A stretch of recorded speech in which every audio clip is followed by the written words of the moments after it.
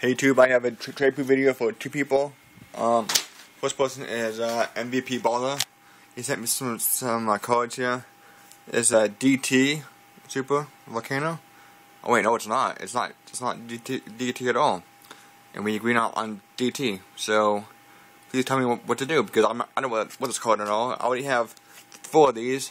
Why, why I want a super, super one again? That's why I asked for Duel Terminal so I can put it in the deck. I don't have a use for Super 1. And some, some, some for ones too.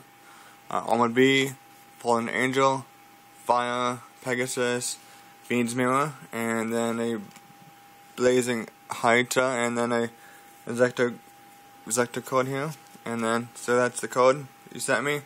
Um, I, I don't I don't want this code at all because it's not DT. I don't have any use for it. Any money? Yep. Got, got, got, got this. That's that's good though. But, this is not the code I wanted at all.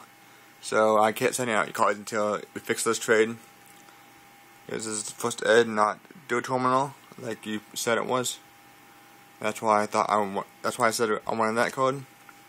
And second of all, next guy is uh, Mr. Cookie Wookie One Two Three. He sent me uh, Wind Up Rare, Super Rare, and Effect Rare, then Super Rare, and then also a uh, damaged gold um, Space Typhoon. Crease up here. I don't think you said that before. You said that. I'm not very impressed. There it is again, right there is a crease. Not not liking that much. Because now when I do trade with somebody, they'll be like, uh, this card's only worth probably two bucks now because it's creased. They're like, what? And then it, yeah, I see it's creased right here, so it's not worth that much at all anymore yeah, let's show it again. Right there. There it is. Creased. And on the back. Right there.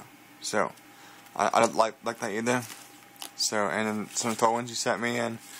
A super nimble hamster and then a uh, light spawn. Thank you. But I don't like this MST. It's kind of damaged.